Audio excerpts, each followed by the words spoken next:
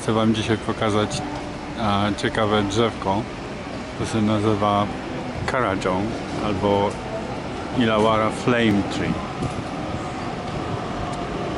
I tak kwitnie. Mm,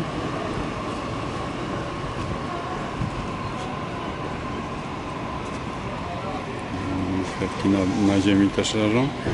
I em,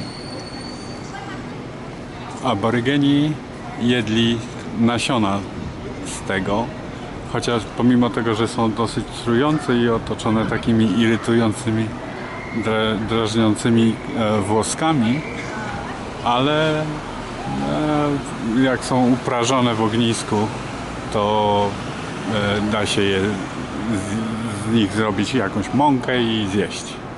Także Ilawara Flame Tree albo Karajong. Kurajong chyba.